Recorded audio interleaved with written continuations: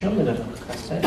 Э, Я Максим Мельников, я программист компании Wargaming.net, работаю там два года, играю в танки под ником Макс Посейдон, кто-то может, если кто играет, меня убить и радоваться, что он убил меня. Сегодня я хотел сделать доклад о тех проблемах, с которыми столкнулся Wargaming.net при разработке мировой войны. Мы эти проблемы называем фейлами. Вот. И почему в кавычках? Потому что не все фейлы на самом деле случились, которые мы ожидали. Но дальше по докладу будет видно, что как бы, там делался упор и так далее. Так, в докладе я расскажу, грубо говоря, сначала мы начнем с архитектуры системы и вообще, что такое мировая война, может, многие не знают. Потом с какими проблемами и сталкивались, как мы их решали, как это повлияло на наше решение, как это повлияло на нашу реализацию и прочее. И какое мы видим дальнейшее развитие мировой войны для мира танков. Что такое мировая война в мире танках? Это те самые клановые войны, большая карта, где кланы передвигают фишки, на самом деле клановые лидеры э, нападают друг на друга, обмениваются территориями, с той лишь маленькая разница, что бои происходят как обычные, ну, происходят как обычные бои в мире танков. То есть сразу там запускается бой, и они там играют. Э, мировая война работает в браузере, вот такое мы решение предприняли, а бои происходят в клиенте. Вот, давайте как бы независимые немножко игры между собой тесно интегрированы. И некоторых фактов, возможно, те, кто играет, весьма полезны. И вообще мы недавно, буквально на днях, запустили расширение мировой войны там, в 4 раза, увеличили количество провинций с 200 до 800, в надежде теперь поглотить всех пользователей, которые хотят в нее играть. Вот. Запуск ожидается, собственно, понедельник, вторник, пока пользователи просто смотрят и жадно пожирают глазами. Так для того, чтобы все меня понимали, некоторые термины, которые я буду использовать в презентации. Движок — это то, что я поднимаю сервер-клиент мир танков, собственно, то, что во что вы играете, устанавливаете. Он написан на BigWorld. Вот, когда мне нужно будет сделать отдельный упор на различание между клиентом и сервером, я буду подразумевать именно движок игры. Есть клиентская часть, есть серверная часть. А также есть веб-часть проекта, в которую входят мировая война, турниры, расчет рейтингов и так далее. Вот, то, что просто мы друг друга понимали. Во время разработки мировой войны мы с самого начала э, понимали, что этот продукт, он на самом деле независимый, его хочется сделать максимально независимым от самого клиента, так проще обновлять его, так проще выкатывать патчи, так проще разрабатывать на самом деле. Вот. Также мы обязательно хотели, чтобы во время работы нашего сервиса, если что-то сломалось в BigWorld, в смысле в движке, там пользователи не могут зайти во время утренней перезагрузки, или там еще какой-то факап случится, чтобы именно война функционировала дальше, как ни в чем не бывало. Ну и мы, естественно, мы хотели минимизировать риски, которые связаны с этим, потому что разработка фактически второй игры внутри первой, это могло вызвать множество проблем. Решили мы этот подход собственно, для решения этих задач мы некоторое время подумали и решили использовать э, стандартный подход. На самом деле мы просто решили уйти в этим компонентам веб. Стандартные, там, социальные или браузерные в нашем случае браузерные. Вот. Э, а почему браузер? Потому что сам геймплей таков, что передвижение фишек и так далее пользователь может делать из дому, с работы, э, утром в метро взял, передвинул фишки, назначил бой, вечером пришел с работы и повоевал. Очень удобно, очень комфортно, и мы, в принципе, считаем, что именно в тесной интеграции будущее с вебом, собственно, и состоит будущее. Вот. Почему LAMP? Ну, я напомню, Linux, Apache, MySQL, PHP. Ну, в нашем случае все немножко по-другому, но не важно. Потому что это самый стандартный, самый проверенный годами подход. В мире накоплено просто огромнейшее количество опыта по этой технологии, огромное количество можно найти проблем, и главное, что в случае возникновения любой проблемы мы достаточно быстро представляем себе, как ее можно решить. Там увеличились у вас нагрузки, в интернете миллион э, советов на то, как, собственно, с этим бороться, как это решать. Вам нужно всего лишь проанализировать решение и выбрать его. Но также в компании уже был некоторый опыт разработки в вебе. И еще раз повторю, очень важно то, что вообще в мире накоплено огромное количество опыта в этой области. Так, как я уже чуть-чуть назад, мы первое, что мы главное сделали, вот, э, кроме того, что ушли в веб, мы начали рассматривать движок игры как черный ящик. То есть мы вообще ничего не хотим знать в мировой войне про то, как там происходят бои. Мы хотим только давать ему что-то на вход, получать что-то на выходе. Ну, фактически для нас движок игры мира танков это черный ящик. Есть вход, есть выход, то, что внутри нас абсолютно не касается.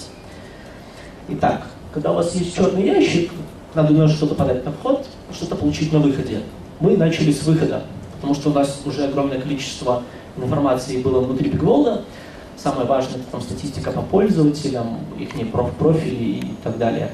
Вот, собственно, экспорт данных. Первую задачу, которую вы должны решить, и мы решали, нам нужно было достать из Бигволда аккаунты, кланы и результаты боев, которые там будут проходить. На самом деле в современном мире стандартным способом решения таких проблем являются там, различные MSHQ, там, э, RabbitMQ, э, э, Apache MQ и прочие решения, которые там многие могли сталкиваться, особенно разработчики социальных игр, браузерных игр. Это такой сервис очередей, вы в него из одного процесса кидаете сообщение, там, работает отдельным демоном, через какое-то время в другом процессе, там, достаточно фактически в реал-тайме, вы получаете свое сообщение его обрабатываете позволяет вам организовывать ваши запросы в очереди, и очень, э, система очень стабильна, потому что вы никогда не делаете там 100, 200, 300 операций одновременно. Вы просто по очереди из очереди выгреваете и обрабатываете.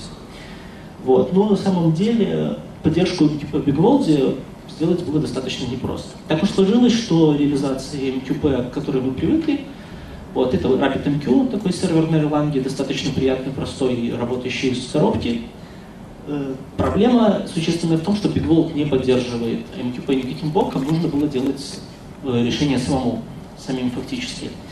Вот, с самого начала мы побоялись этого, и у нас фактически не было времени. Осенью мы фактически от этого отказались, но для себя отметив, что только понадобится, мы обязательно это сделаем. Вот весной мы уже поняли, что без этого никак, уже поддержка реализована, и мы будем в следующих версиях потихоньку переходить на использование MQP. Ну, если вы слушали вчера Сашу, вы еще представляете, что такое мир танков, то знаете, там нагрузки выросли в 10 раз, а нам уже во всю пора готовиться к тому, что они еще раз вырастут в 10 раз. Мы применили ну, самую стандартную схему через MySQL. При поддержке в движке уже, очевидно, есть поддержка какой-то базы данных, это MySQL для BigWorld. Также у нас для подсчета финансовых статистик и боевой статистики уже были написаны всевозможные модули для того, чтобы без проблем взять и делать записи MySQL. Вот. Но на самом деле экспортируемых данных огромное количество, поэтому мы просто завели простую табличку ExportQ, которая состоит там буквально из ID дата. Мы в нее просто фигачим записи с огромнейшей скоростью, а потом уже другие процессы, не бигволдовские, чтобы, скажем так, сделать движок бигволда максимально стабильным, движок мира танков, мы максимально исключили там наше влияние. Итак, данные попали в MySQL, э, потом для того, чтобы симулировать будущую хорошую работу, а также для удобства самих себя, мы опять эти данные поднимаем из MySQL в RabbitMQ, Потом происходит различная обработка. Я тут поясню, данные в BigWold фактически в движке хранятся в виде блобов каким-то образом, а нам нужно по ним делать различную аналитику, вытаскивать наружу какие-то атрибуты. Вот, все это происходит во время обработки, и потом ложится в таблице обычном реляционном виде. Там. Табличка аккаунт, в ней там порядка там, 20-30 полей про профиль пользователей, там, про результаты боев, соответствующие таблицы или там, про кланы.